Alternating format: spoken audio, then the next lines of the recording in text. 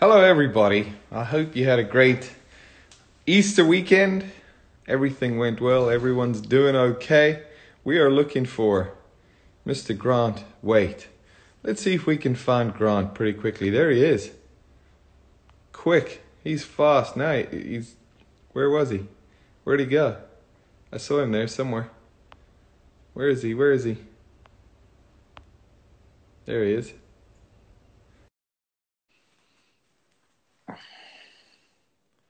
He's on his way. Grant, how's it, mate? Good, Andrew. Thanks for having me on. Oh, thanks for coming on, brother. I appreciate it, man. I know, uh, I know we've all got quite a bit of time. You said you've been playing some golf. Yeah, well, Florida, we're one of the lucky states where the um, the governor Ron DeSantis decided that golf's essential service, so he kept the, the, most of the golf courses open. I think the the city courses are closed, but the okay clubs are they're open now. The the, the clubhouses are closed. So you you can't go inside and get some food or interact with the um, staff or anything. You can order food; they'll bring it out.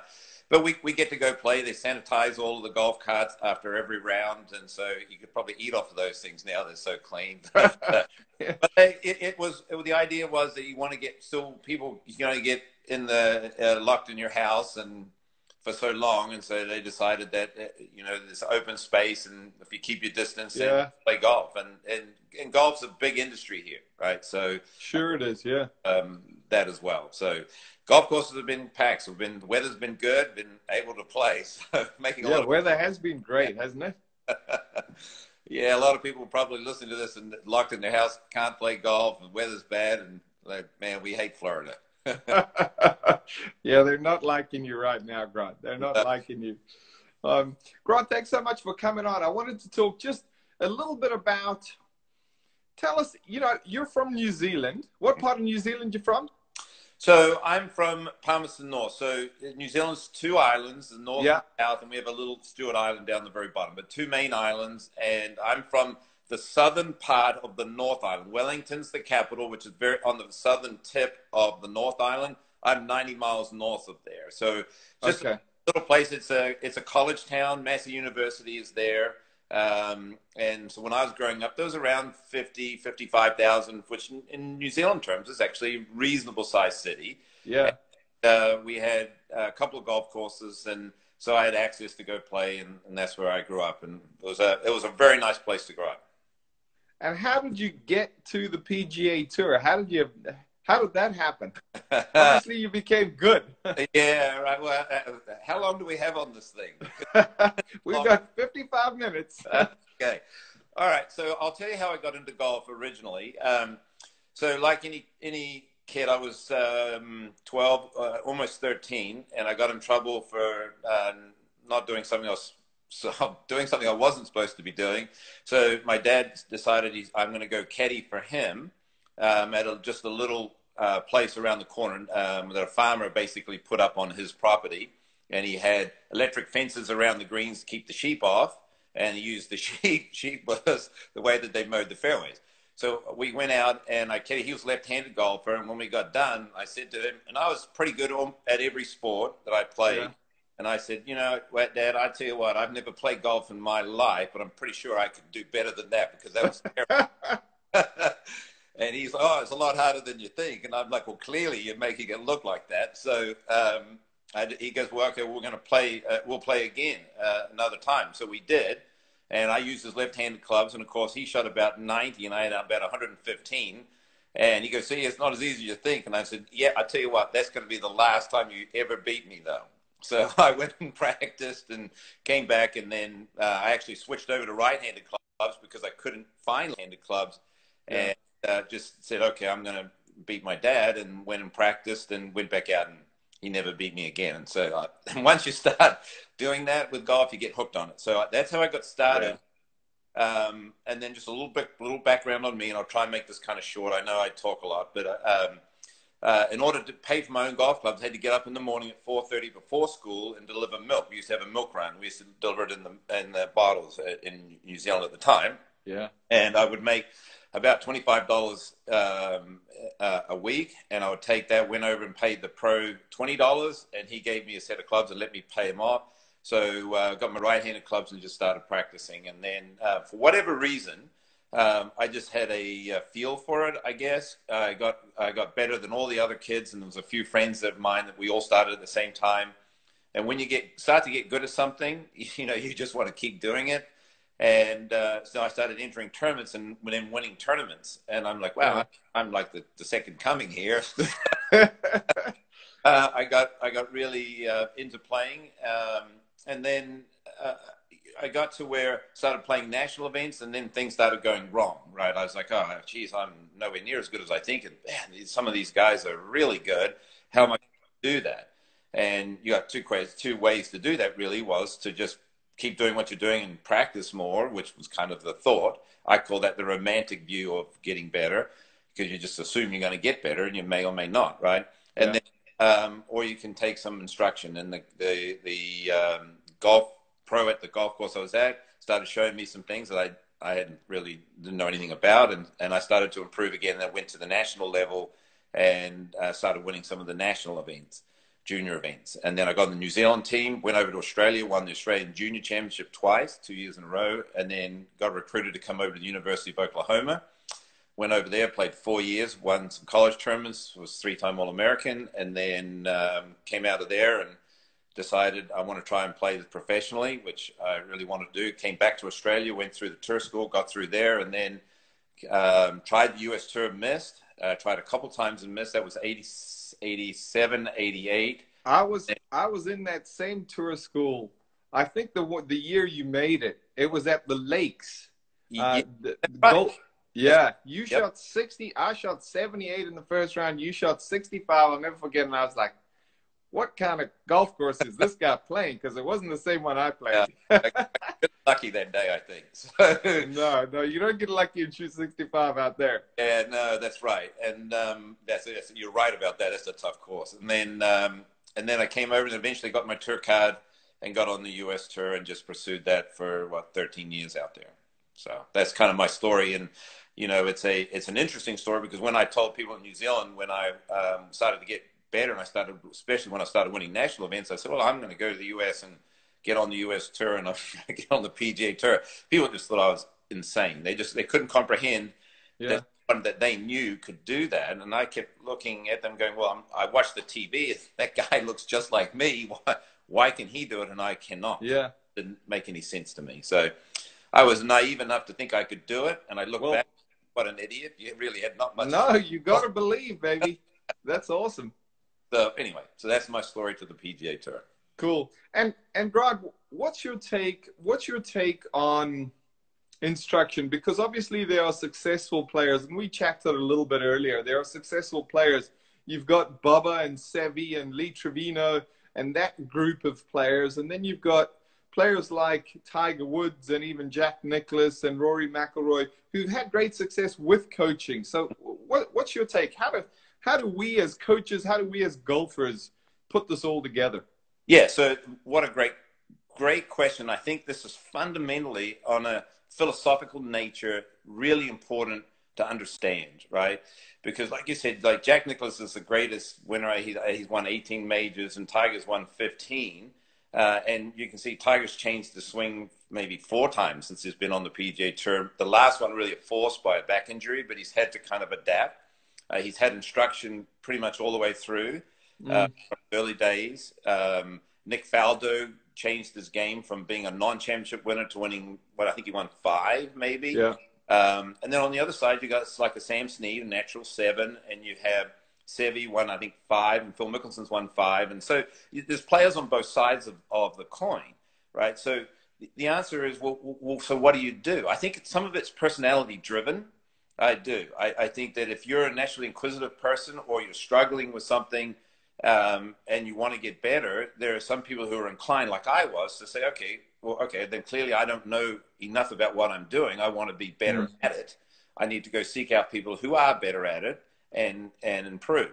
So instruction really fulfills that for a lot of people who think that way. So I think one, it's personality driven, right? I think the yeah. other, you have Sorry about that. Um, I think that the other the other part of it is there is a cost that you weigh up, Now, even a cost for amateur players. So they can decide, okay, I've got a limited amount of time, I've got a limited amount of funds here. I just can't spend, you know, all my money on golf instruction. But they want to get better, so that you, there's a cost to doing it, which is, okay, I've got to relearn a pattern I'm going to have to uh, trust the person that I'm I'm do, uh, with, uh, helping me. I may get a little bit worse in the short term because you have to you now fight a pattern that you do versus a pattern that you're trying to do. Uh, so yeah. there's a cost to that, right? And you have to and you, you, and as a coach, you have to support that player. Now, as a on a when you're coaching players that are really good, there's a serious cost, especially a PGA Tour player that you got their their job is is really in the balance. And the difficult part is each Thursday they got to tee off. So you, you, you cannot strip them the ability to play, but you're trying to move them in a direction so they can play better. So it's a real it, it's a real dilemma. So the way that I look at it, I think that it's personality driven, and it's up to the person to decide what the cost to them is. Is it if I do nothing, I'm going to be here's where I'm going to be. If I mm. do something, here's the potential risk. So I, I believe that um, the, there's talented coaches out here. There's people like yourself, Andrew, that spend a lot of time researching and, and trying to understand, become a better coach, realize there are times which we all have, we, we thought something, now we think something different. And really, if, if you're coaching the same way uh, today as you did a year ago, then you're not, you haven't improved as a coach. You mm. should have, your information should be better, your strategies should be better and that's what you're trying to do. And because the goal is like you are you're a you're a person who wants to help people. You're never going to do anything to hurt them. You will do whatever you can and, and employ whatever strategy. So i think the people who are in instruction and coaches are there for a reason to help people and they'll do whatever they can to do it. So i think instruction is very very important and i think you can achieve it uh, to be a better player going down the instructional way because it's it's a guide. Now again the words coming out of your mouth or mine when I talk to a uh, player, no matter what the level, is not going to change them. It's not. The, the hmm. person mm. is going to change themselves, their golf swing, their chipping, their putting, whatever it is they're doing, right? They have to do it. What you're doing is providing them a guide or information to do it. And so it's no matter what, the, the golfer, and I always explain this to my students when they come, when they show up, is that, okay, I'm going to help you, but you're going to do it it's not, I, I, I, cannot do it for you. I cannot hit your shots. I can't spend the time on the driving range for you. I can't structure out your practice and make sure you're doing it precisely or the way that you need to do it. You're going to do it. But we, what we're trying to do is provide the right information or strategies in order to change. I like that. And, you know, I spoke to Chris Como, Grant, a couple of, well, it seems like months ago, but it was probably about a week ago. Yeah. And what I loved what he said. He said that coaches are ultimately problem solvers. Yes. And I could hear that thread running through what you were saying there. Yeah. So, so here's the thing, right? There's you, you, uh, someone has an issue and you're trying to solve that issue, right? There's lots of strategies to do it. And there, there really are. And you've got to find what resonates with that player. What resonates with one player may not resonate with the other. So you're constantly trying to solve their problem. You're not trying to make them look like something. So if we go over the course of time, and I just, we named all those players earlier from from Jack Nicklaus to Sam Snead to Seve to Lee Trevino, and we can take Lee Trevino mm. and Sam Snead. I mean um, Lee Trevino and Jack Nicklaus because they played against each other. They both hit the same kind of ball flight, a little left to right. One was lower, one was higher. They they don't look anything alike, but they're having to apply uh, certain principles to make the ball curve the same direction, but they don't look anything alike. So if you, Jack Nicklaus comes up with it, takes a lesson, for example, or a player like that, swings like that, the way that you may solve that is going to be completely different than how you would solve Lee Trevino. So a good coach should have in his toolbox lots and lots of ways to solve whatever the problem that that player has, but mm. you're trying to make them look a certain way. You're solving their problem, which is where is where I've you know recently uh, gotten so involved in understanding forces and torques because uh, uh, that's really what's going on here. How they're utilizing force and the resultant torques that come from that in their golf swing to produce whatever they're producing. So problem solving really is, is the way is what a golf coach is. You know, that's that, I think that's probably the best way to think about it. Mm. And I like to think about it as I'm going to do my best to have a massive toolbox as your coach. Yes. I'm working, and if I'm any good as a coach, I've got a massive toolbox, and I'm going to use my experience, use my knowledge to pull out the appropriate tool to fix this problem. There's no guarantee that it'll be the right tool, but I'm going to use my experience and my knowledge base to select the right tool to help this player as best possible. There's no guarantee it's going to work, but I'm going to do the best I can as your problem solver. Yeah, and, and that's what you just said. I think is really important, right? So there's experience here that's important. Mm. Now, you've I've gone down the road where I've tried to help a player, it hasn't worked. You're like, okay, what did I miss there? And then I you know try and help talk to that player. Okay, so what's what's going? What are you having difficulty with? I mean, let's try this strategy. The conceptual framework doesn't change, just like you said. You yeah. just your toolbox and bring another another tool back out, and let's try this. Now, you know that can a lot of people maybe confuse that with say oh he's just trying all kinds of things. No i'm staying within the conceptual framework of what i think mm. we should do. I'm just trying to get have you think of it in, in a certain way uh, using this strategy that may resonate more than the others. And that experience of when to stay on something when to move in a different direction how hard to push the player how many things that they can do the order that you're going to do it is really important. And as a as a coach that's that comes from experience. Now we can all learn information. That's not the hard part here. Yeah. And how to use that information and apply it. And and really that's really important for that person standing in front of you. They've paid a certain amount of money to be there and they've invested their time and trust in you. So your experience, and I think experience is underrated at times. I really do. I think that you, the and the all the levels of players and the longer you spend on the range, the more important that that you develops your skill, your craft. And that's why I, I'm a big fan of, of people like yourself that have been out on, in the trenches, coached a lot, also mm. have got a want to get better, know that they don't know everything, and constantly learning and trying to improve themselves as a coach and improve and make that toolbox bigger. That's a that's a great thing, and I um, I really I, and I'm in the coaching industry, and I had the other side where I played, which I'm gonna like to talk a little bit about um, on how uh, both sides of that.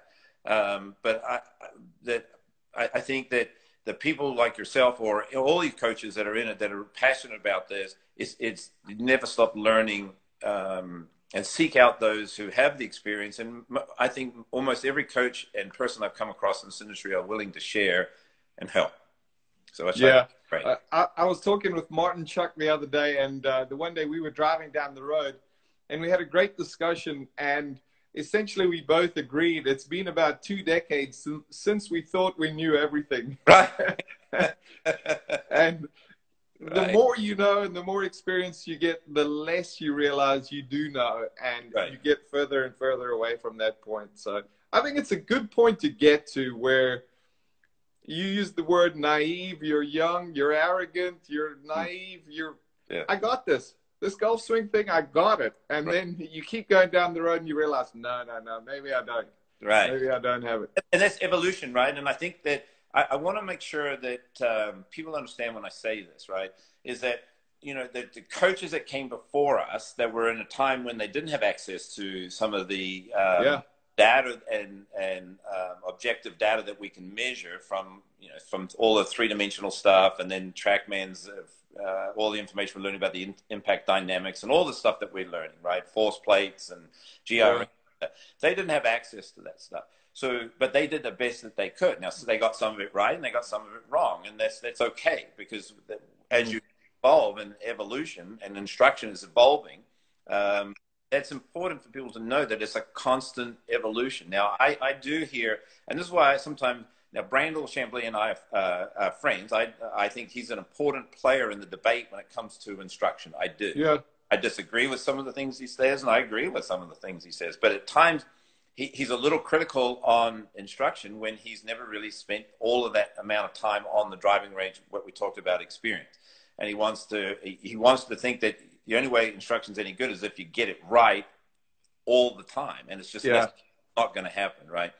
So yeah. evolution says that we build on the shoulders of the people that came before us. So the, the David Leadbetters, the Hank Haney's, the Butch Harmons, and all these people, whether you, you agree with kind of their philosophies or not, they helped build this industry. And especially David was really the forefather of that. So I have a lot of respect mm. for that.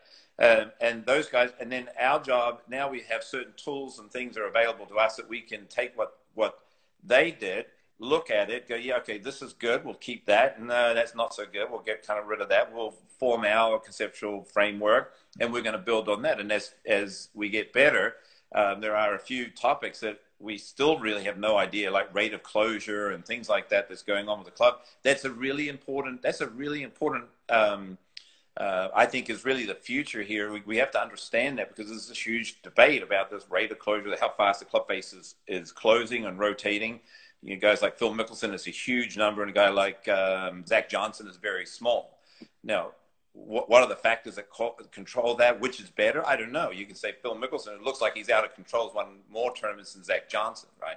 So things like that, we're gonna we're going to continue to to evolve and get better, and that's that's because of the efforts of the of the instructors before us, right? And but like yeah. Said, came out, I'm like, oh, they don't know what they're talking about. Here's the answer. And then as you go along, you're like, yeah, okay, I really don't know what I'm have the answer either here, but I'm yeah. just the best you can, right? As, as they did. You know, talking about that rate of closure, you sparked a thought in my head. Wouldn't it be cool if, in the research side of things, as we try to understand that better, we could flush out the role of skill? Right. Yeah. Well. Okay. So th- that'd be cool. Yeah, it would be very cool because the well, proprioceptive ability, right, is a huge, huge, huge factor here. Yeah. So let's let's take Tiger Woods, like I said earlier. He, let's say he's changed his. Um, let's say he changed his swing four times. He did something yeah. right on the PGA Tour. Well, he won no matter what swing he used, right? So yeah. we you could say, well, what was the point of it, right? Well, some of it was because he was trying to evolve, and in 2000 he won you know, he had all four majors uh, from 2000 2001. He, he won uh, the three majors in 2000. He didn't win the Masters. He won the Players Championship, came around and won the Masters, right? So you go, okay, so he's got all four majors and the Players Championship at one time. Now, if you won one of those in your career, that's a great career. He's got yeah. five at one time. Okay, so why would you just keep doing that? Just keep doing that swing. Then no, yeah. why would you ever change that? And part of it is because as this you know, as we're all driven, you know, to become better, you think, okay, I can improve in this area, and that's the cost thing that I was talking about earlier. Yeah. Now, um, he's a he's a guy that not only wanted to win all majors, he wanted to win every single tournament he ever entered and went for a whole year. So, all right, so great. So he's gotten he's gotten better. So he won every no matter what he did. Now you take Phil Mickelson, who's got a, a maybe not quite as technically correct swing, managed to win what forty five times. I, I think on the tour yeah. like that. A lot. A lot, right? And five made, and you, you would, no one is I've ever heard have used him as a model for how yeah. swing a golf club. So his, we would say his proprioceptive ability is really high. So when it comes to the rate of closure, I think there is there is there is the the certainly the technical side of it. It would make more sense that if the club out, club face is closing at like 2,500 degrees per second, you can say the downswing's 0.24 of a second. So you take the last foot is a very short interval. How much is face is rotating um, through that in, impact interval coming into impact, and how much of effect does that have on the control of the ball? Because Phil Mickelson clearly was able to do it well enough. Yeah. times, but I, I do think when we look at swings, I think there's a lot to be learned on what are the things that go into that. What are the kinetics to that, right? Not just what's happening, which is kinematics, but the kinetics of it, what's going into control of face. Those things you can learn. And when someone really doesn't have control of face, you can start, as a coach, there's more in your toolbox now. You can reach out and say, okay, here's how we're going to get a little more control of face. So mm. I think that rate of closure, what's going on, and knowing the, the, the kinetics behind it, I think that's a really, really important thing, and we, we don't we don't know the answers. People think they do, but they we yeah. don't really don't know. Yeah, yeah. But I agree with you. At the highest highest level, there's a proprioceptiveness that goes on with these great players, and I've played with Phil and Jack Nicklaus and Phil Mickelson and Tiger Woods, and I played with all Tom Watsons and all of these guys. Right, I've been fortunate enough in my career. I got some good pairings and was on at a time when there was really a change in in generations uh, mm. So I got to see see them all, and I saw the attitudes change towards golf swings. You know, um, that generation was a little bit less concerned about it. This generation a little more concerned about it.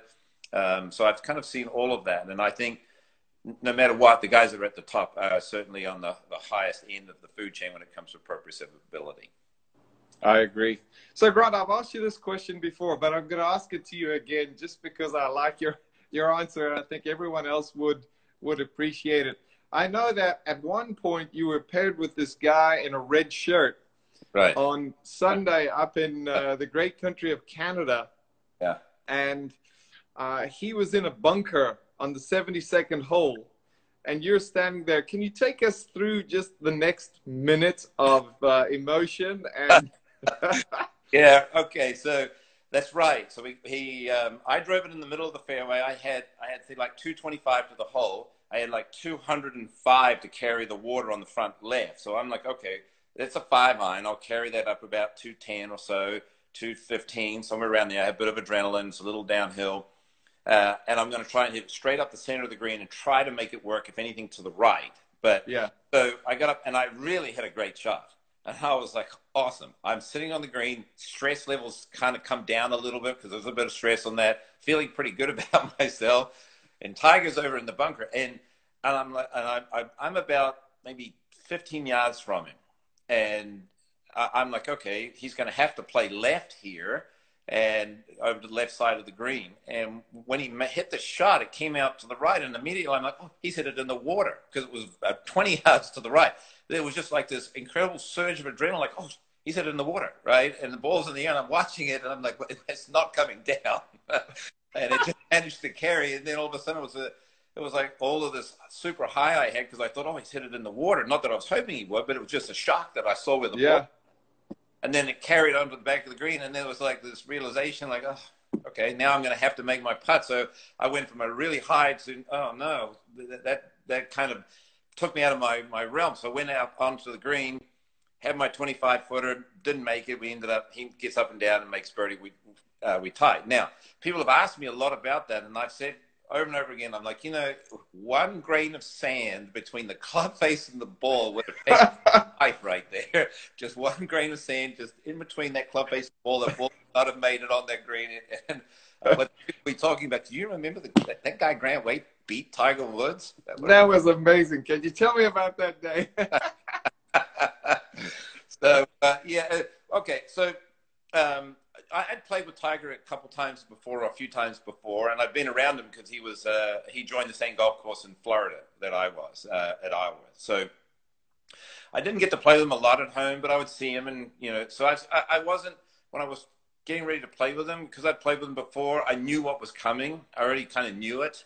So um, you know, one of the things that I I know what Tiger does is, and this is kind of funny, is that he would let he would let the try to let the other player walk onto the tee first um, on the first tee.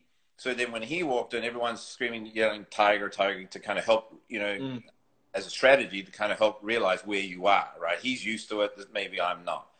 So I'll never forget this. We're on the putting green, and I'm like, kind of know he does this, so I'm I'm not going to go to the tee before him. It got to the point where where the rules officials were like, guys, you've got you, are getting ready to tee off. You guys have got to get to the tee because we're both just still putting on the green. He kind of looking at me and I'm looking at him, right? And uh, yeah. So we walk on. We kind of walk on the tee together. So I'm uh, as all these screaming, and you know, I'm kind of waving to the, the crowd as well, like as if it was for me. This like, is for me. and no one really cared, but it's fine. These are just the silly things that you do as a competitor to try and get yourself in the right frame of mind, right? Yeah. So um, we get we on the first hole, we get up. I had a nice drive, and I'm telling you, Tiger was airborne on that first tee shot. he swung so hard, and it was almost as if he was trying to show me how far he can hit it, and he's going to hit it past me.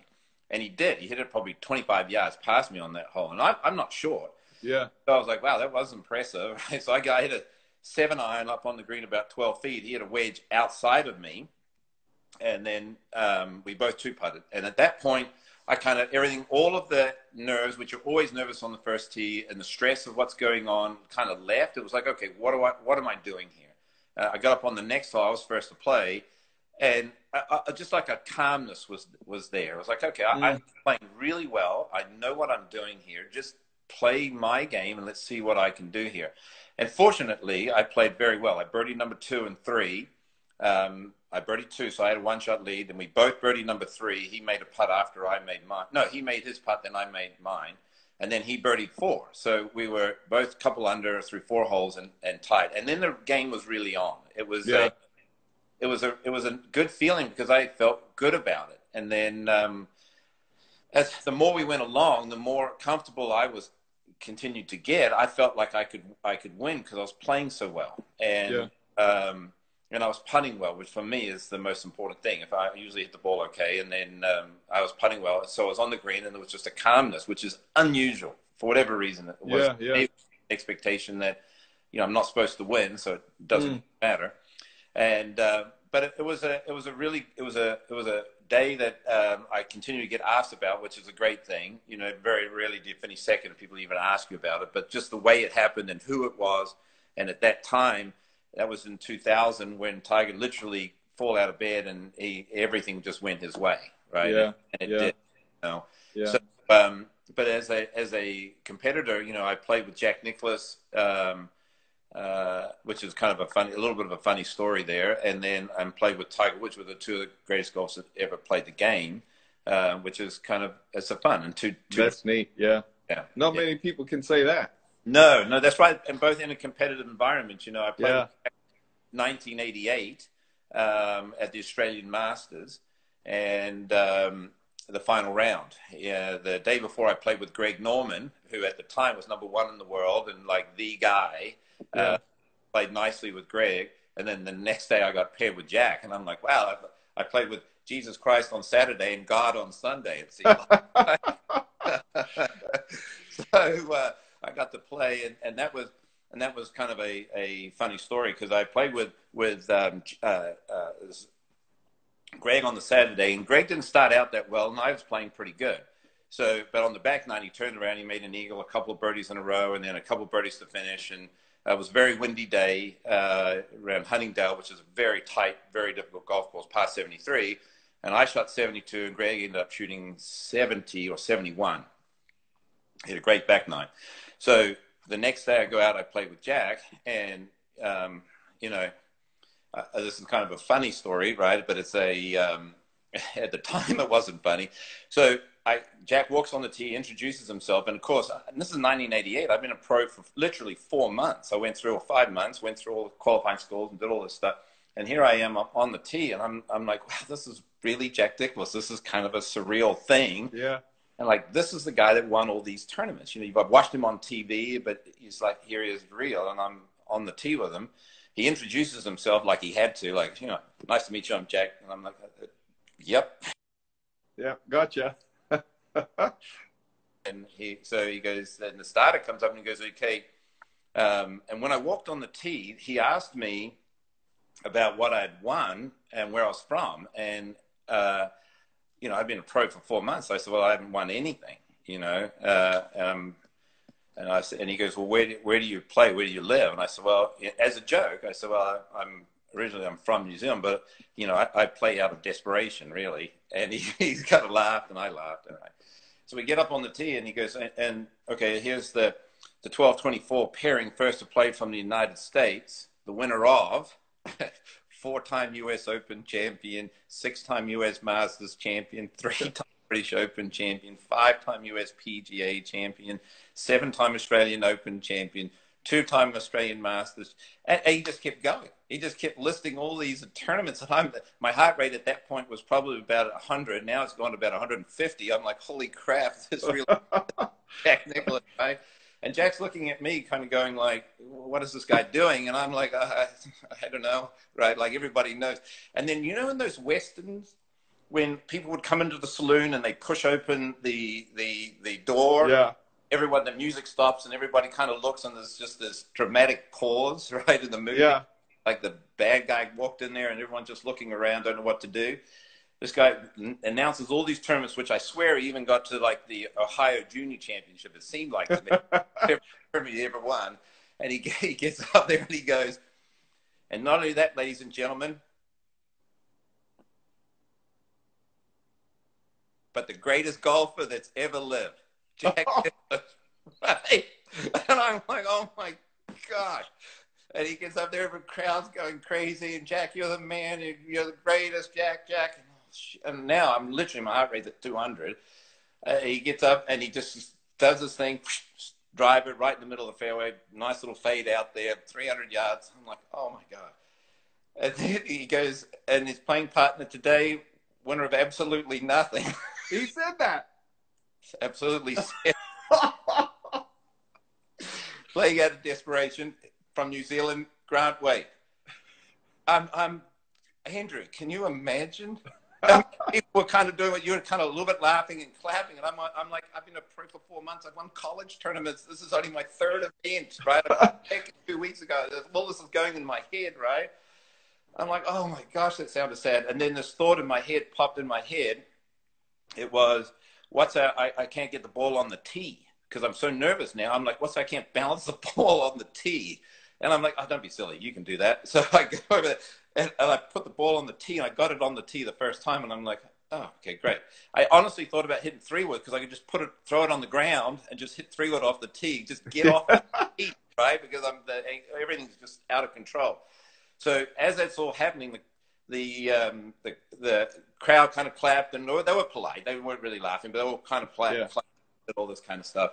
And um, it gets kind of quiet as as I'm trying to get my stuff together, and I stand back behind the board just as it quieted down. And you know, Australia and New Zealand, we got a, kind of a, a, back and forth that goes, and a guy yells out, uh, "Come on, you sheep shagger!" Right? people Put some salt in the wounds. Oh, I'm like, oh man, could this be any worse? This is Jack Nicklaus standing over there. This is not going how I wanted it to go. but anyway, I got up and hit a beautiful shot. Ended up, I, I, don't really even remember swinging, and I had so much adrenaline going on. Yeah, I, am sure. I hit 20 yards past Jack, right dead center of the fairway. And now to this day, what Jack did, he came over and put his arm around me as we walked off the tee. He goes, "Oh, I, I hear you. You went to the University of Oklahoma. What a great school. I went to Ohio State. A lot of good football. Played at those schools." And he was doing everything he could to talk to me, to try That's and get cool. my head straight. Yeah, right? which was very nice of him because I was really out in la la land at this point. Yeah. I, and so ended up um, that day. Jack uh, didn't play his best golf. He shot 77 and I shot 73, and I finished third in the tournament. Now it was a very windy day again. The next week, uh, Greg Norman had asked me to play a practice round. I said, "Great, I'll do that." And um, so uh, on the Tuesday, so on the Tuesday, I'm in the locker room getting changed, and here comes Greg, who'd won the tournament and I hadn't seen him. And I'm like, hey, congratulations, Greg. It's, you know, it was good. you played really well because he shot 67 the last day. He won by like eight or some seven or eight. Yeah. And uh, he goes, yeah. He goes, I, I guess I was a, a, little intimidated on Saturday playing with you. And I went, I intimidated you. Look, look what I did to Nicklaus. He shot 77. You're the slayer. anyway, just funny stories that happens when you play on the tour. You, you, play long enough, some weird stuff happens. But anyway. Yeah, yeah, okay. sure does. That. Those are great stories, Grant. Thanks for sharing that. Yeah. Hey, I want to get into a little bit of swing stuff, Grant, because you certainly are uh, far down the road when it comes to swing knowledge, uh-huh. and you help a lot of good players. Give us your insights as to. Let's talk about what's important to you in the golf swing. What matters? how you piece it together. If you could just give us your your your overview, your insights as to the golf swing. Sure. So okay, so uh, um, my evolution on that stuff is that I was much more anatomically um, concerned initially, which means certain alignments. Like you get, you need to get your left arm here on the backswing, and your shoulder plane needs to be like this, and uh, on the way down, this is where things need to be positioned. Because really, back then that's really what all we had. We didn't understand that everything that we're doing in a golf swing so here's my philosophy everything that we're doing in a golf swing uh, produces a force that ends up at that handle right? Because that's what we're hanging on to. That's what's moving that club. Mm. so that force has a magnitude and a direction and an amplitude and you have an impulse. All of these things are going on at that handle. So what when you look at great players over time and i realized this and a guy like chris como um, and in fact, it was Chris Como, had a huge influence on me when I um, when I first met Chris, and we started talking, doing some things. At the time, he was uh, finishing up his degree at Texas Women's University under Dr. Kwon. They were doing a study, and I volunteered to to swing. Um, I remember seeing you in your underwear. I can't unsee right. that actually. no, some people are still going through therapy with that, but anyway, the um, so that's correct. So, I, and through that study, I we learned a lot, and I learned a lot. At the time, I was really interested in learning. So here was an opportunity to, for me, literally, not to be naked, but my swing to be naked out there, and let's yeah. break this out, all right, and let's learn. And what am I doing well, and what am I not doing well, and and so forth. So through that, I learned a lot. And one thing I learned, and I and it's a it's kind of driven me ever since that Chris said was that he goes, look, we're not trying to make everyone swing the same. We're trying to understand how great ball strikers who look very different are able to to hit the ball so well. Yeah. So again, a guy like Adam Scott is very easy to put up on a on a um, video and say, okay, this is how you would swing, right? Because it's just it's very beautiful. Yeah. beautiful.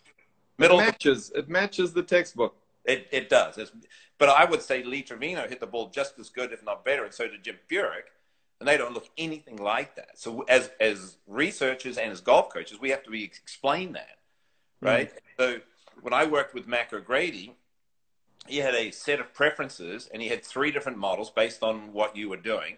And he were these are the preferences for these models. So it was always about trying to get anatomically in line with that, and then hoping then the club would then react to that. Now that's a way to do it. The other way is saying, okay, let's understand what all these forces and the various torques that are going on in the in the golf club, and look at what are the best players in the world doing, and realize anatomically they're all different, but they're able to produce certain relationships that go on in in um, in a good golf swing or a good ball striker. So, and a good golf swing is just someone who is able to to be a good ball striker so such that the distribution pattern is good enough in order to play at the highest possible level, right? Yeah. We're not we're not looking for every shot to be great because it's impossible. We're just looking for some distribution pattern and the variability to be to be small enough in order to play. So, you, so my philosophy on all of this and what I look at is just certain relationships where that force is going, the the um, the matchup based on that. For example, if a guy hand path like a Jack Nicklaus moves more out through transition and his left arm's further out on the downswing, he's going to have a certain way to release the club, uh, um, re- release his wrist angles into the ball to, to square the face versus Rory McIlroy, whose hand path is really far to the end. Both great drivers of the ball. They don't look anything alike, but they're producing incredibly similar results with the driver. One draws it, one fades it, but they're, they're both very, very long, greatest drivers of their generation. You know, yeah. You have to. So how do you explain that? Well, if you want to drive the ball well, you have to swing like Jack Nicklaus. Well, no, you don't. You can swing like Rory McIlroy and drive the ball just as good. Yeah. I, how I put a golf swing together is I'm like, okay, what are the matchups that go with that? And so, if you, we'll just use those two for an example, just to use mm. an example, we'll take Rory McIlroy, who's a very, who from from the top of his backswing to where his left arm's parallel to the ground on the way down. I call that position four at the top, position five. This is all Mac from back in Mac days. Position five on the way down. Um, he's average in rotation, average. He's not not overly rotated. He's not under rotated. He's at average. But by the time he goes from left arm parallel to the ground to impact, he's the most rotated or one of the most rotated. So he's got an incredible acceleration, angular velocity of of those segments uh, in order to rotate to get the club to come around properly. So that's the matchup that he had. So when I look at a player and his hand path pretty far to the end, I got an option. Should I change that hand path? Right here's the cost. This goes back to the cost. Do I change mm-hmm. that path, or do I? Is he? Does this person have the ability to learn to rotate better and then control through impact? The biggest force we got is centripetal force, which wants to throw the club out. You're pulling back to back to the center. Are they able to rotate and control that club through impact. So I, I would look at that, right, and say, mm. Decision based on the athletic ability of the person, what they're capable of doing. Say, yeah, okay, we've got to get your hand path out a little bit on the way down.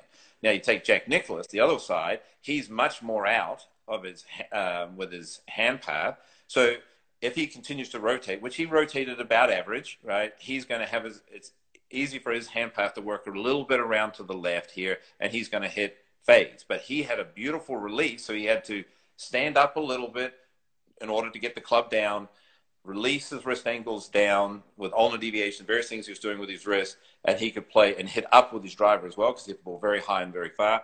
So he achieved his goal, but the matchups totally he doesn't rotate as much. He's going to probably um, have have to get the club laid down with more wrist angle action rather than rotation of his body. So those things those things kind of guide me as to matchups, and that goes back to that experience that we were talking mm. about is how much to do. So I look at the forces. I'm really interested in the forces, the torques, the matchups, the ability of the player, how much time, if it's an amateur, how much time they got to practice, what would be easier for them to do. All of those kind of things play into it. So that's, and like I said to you, my, the, you, you can't see forces in torques, right? But you can yeah. see the kind of, and you certainly, we don't, still don't truly understand, I don't think, the kinetics of it, which is the things that go into it. Um, we can see the results of those kinetics, which is the, the, the kinematics of it, which is you are seeing what's happening, but we're going to keep delving into that so I could be a better instructor, and that's why I'm I'm very much into uh, the PhDs who are measuring that, who are um, then giving us the information, and we sort through what how how can we use this, or is it important at all, right? So that that's kind of an example of what I would do. Yeah, yeah, yeah. And Grant, you mentioned earlier, you said something about you wanted to talk about how playing influenced yes. your coaching. Yes. You want to talk about that?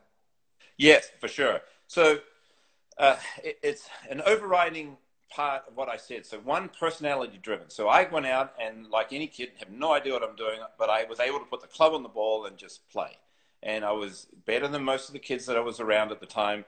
But then when I, as soon as I realized I went to play in different areas on a national level, I couldn't, just couldn't do it at that level. I'm like, wow, well, I have to learn. Now my, my brain works such that I didn't think, oh, I just need to practice more. I'm like, I, I need to know what to practice. How am I going to get better here?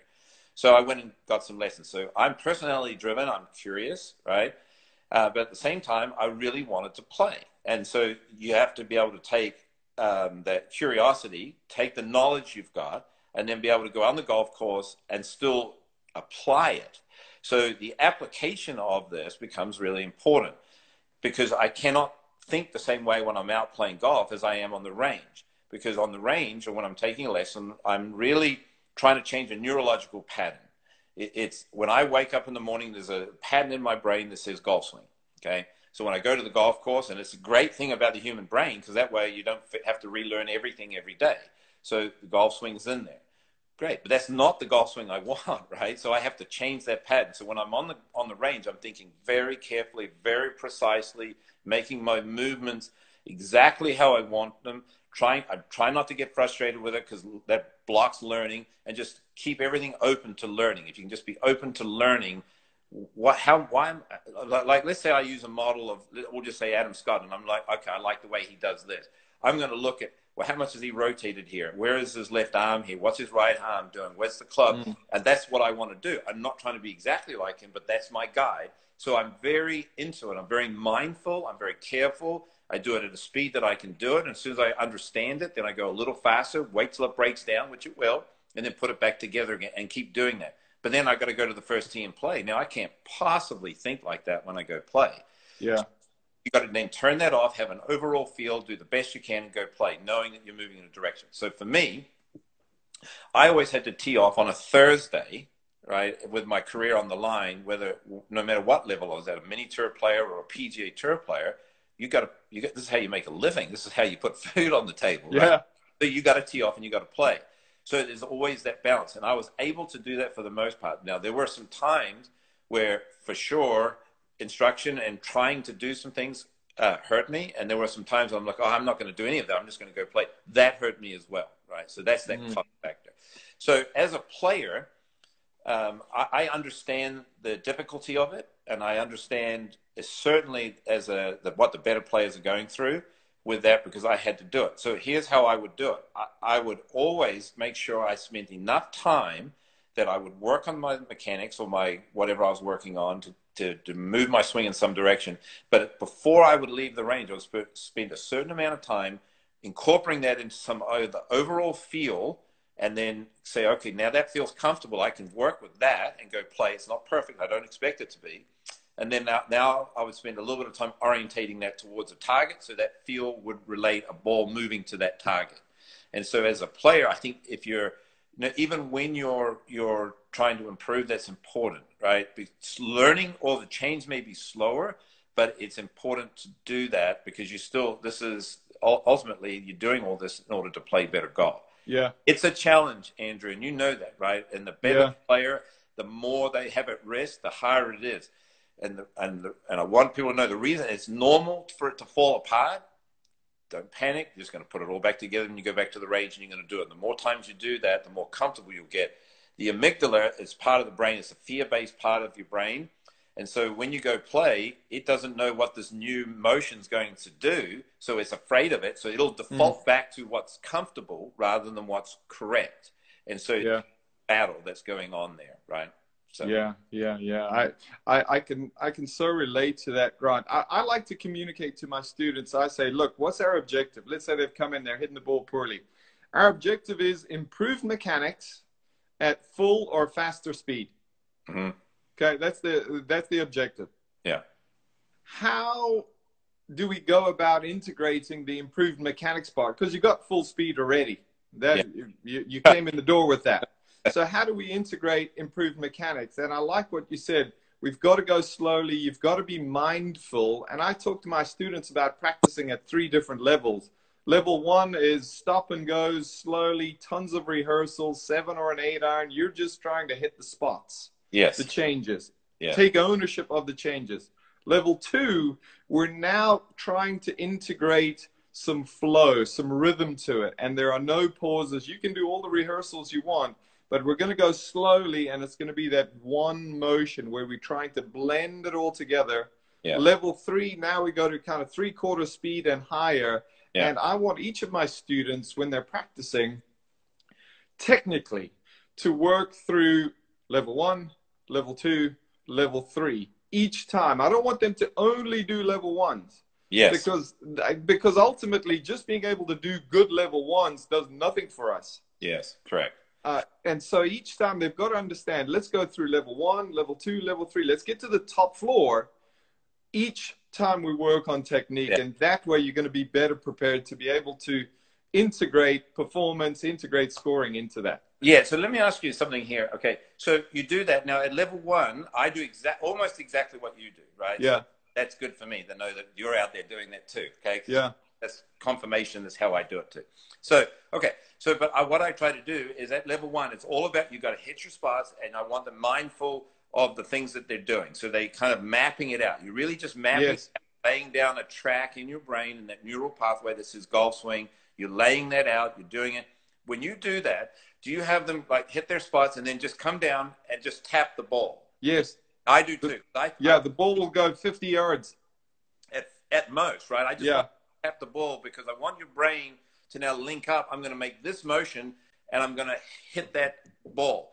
Because otherwise, you get good at standing in front of a mirror and doing it. As soon as you go hit a ball, you don't do it, right? So your brain link that up. So you do the same thing. That's what I do too. And that's basically what I do, same as you. And then level two is without any stopping, an overall motion. And I, um, and I always ex- explain, I want people who are listening, other coaches or just golfers that are, yeah. To realize that it is going to fall apart as you go from one stage to the other, but yes. don't necessarily have to default all the way back to stage one unless you just lost completely your feel. You slow back down and go to some speed that you can do it exactly the way you want and keep tapping the ball. Your brain will adapt. That's the great thing about human beings. We have an adaptation. Amazing. Yeah, it's an amazing thing, right? And you will adapt to it. And you just keep doing the process. You got to trust that process and stay open to learning. It's not it's not an easy thing, right? Because it's you got a neural pathway yeah. in there that your brain's trying to default to. This is no, no, no, no. This is how you swing a golf club, and you're like, no, that's not how I want to do it. I want to do it like this because I know in the long run this will be better. So it's a it's a challenge. I like how you laid that out, and I'm glad that you have people just tap the ball as well. I mm. I think mm. that's super important. Yeah, yeah. Thank you. Yeah, I, I, I really want people to grasp. Listen, we need improved mechanics at full or faster speed. Yeah. Uh, and and once people go, okay, that's my destination. That's yeah. where we've got to go to. It's not just getting this club in a better position. It's better mechanics at full speed. Yes. And and once they get that, they go, okay, I've got to work from this bottom level all the way up to the top and see if they can integrate that. Yes. Yeah, and like you said, because at some point you're going to have to overlay speed. Now, when you do that, now we're talking about we've taken all the force out when you're yeah. doing early levels. So there is yeah. no force. But then when you start to add force to it, there's an impulse there, right? So when you do that, people are going to recruit speed or ultimately angular velocity, which is club head speed. They're going to recruit whatever they can to do it. And they'll want to default because they feel comfortable generating speed a certain way. When they're now doing Yeah.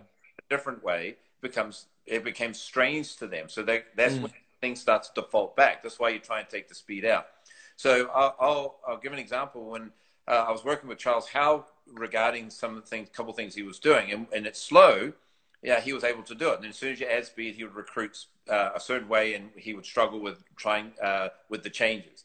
And eventually, he got to the point where he was doing it uh, when, and he felt like he was going slower. But because he was recruiting power in a different way, when we actually measured his speed, he was going the exact same speed, and he felt like he was going at about seventy percent speed. He was 118 miles an hour, both doing it both ways with his driver, which Wow. is really fast, right? Really Yeah.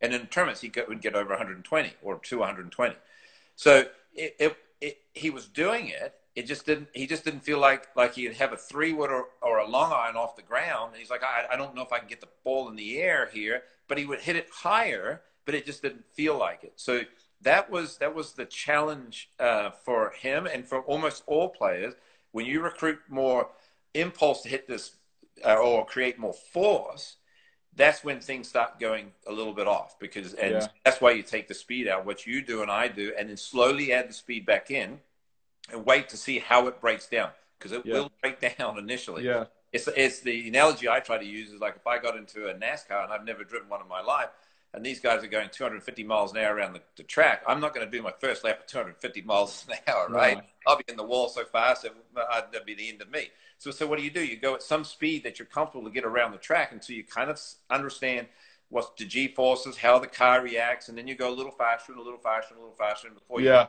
going as fast as you can, which not maybe not Mm. them, but and that's kind of the way that you would do it. I, I don't. I, I like that analogy. That's a good one. Yeah, I I I do That's that. a good one. Yeah, because it, it, it hits home because I mean, if you go into the wall, it could be the end of your life. So you're just not going to do it. Now in golf, Yeah.